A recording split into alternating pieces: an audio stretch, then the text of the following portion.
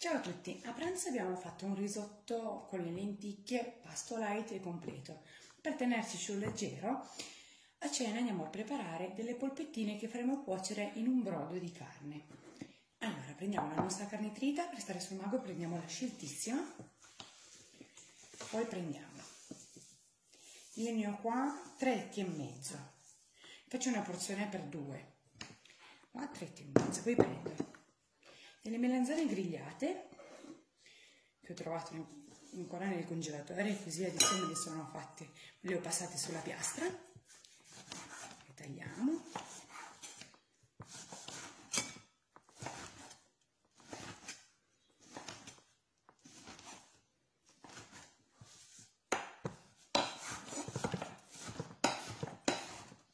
In questa maniera qua le andiamo a mettere insieme, insieme alla nostra carne. E ho fatto cuocere due cubetti di spinaci. Andiamo a mettere anche quelli insieme alla nostra carne. Andiamo a condire il tutto. Andiamo a condire con la mia scatola magica delle spezie. Andiamo a prenderci un nostro misto per le carni che così dà gusto andiamo a prendere. Vediamo un po' cosa abbiamo qua? Cosa abbiamo qua? Ah, il dragoncello che a me piace molto. Nella carne gli dà quel gusto. Poco poco. E un pochettino di prezzemolo che nelle polpette ci sta sempre bene. Ok.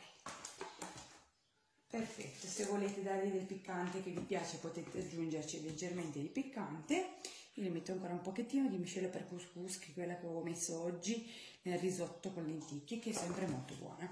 Inizio a mischiare bene. Non metto sale perché mettendo tutte queste spezie qua e poi andando a cuocerlo in un brodo di carne rimane già molto gustoso. Io avevo del brodo di carne che avevo messo nel congelatore quando avevo fatto il bollito con l'osso. Quindi ho fatto un bollito con un osso un po' di tempo fa mi era avanzato il brodo e per non buttarlo l'avevo messo nel congelatore. E oggi mi serviva.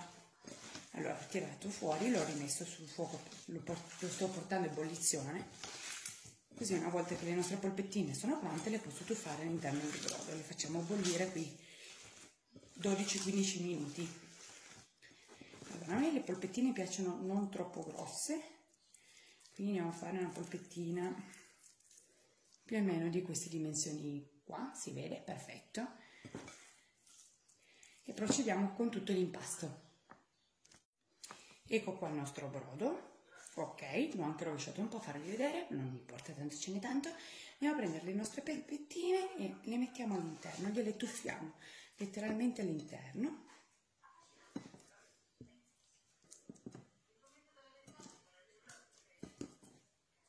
E facciamo bollire per 12-15 minuti. Ecco qua le nostre polpettine. Queste andiamo a completare, io le ho messe tutte nel contenitore per non, per non lasciarle in tutto questo brodo, perché comunque ce n'è tanto. Però a me piacciono col brodo, quindi vado con un mestolo ad aggiungerci un pochettino di brodo, le mie polpettine, che così rimangono belle umide. Ecco qua. E le polpettine in umido sono pronte, anzi non in umido, bollite sono pronte, non ci resta altro che aspettare cena, accompagnarle a una bella insalata o alle verdure grigliate che abbiamo avanzato e mangiare.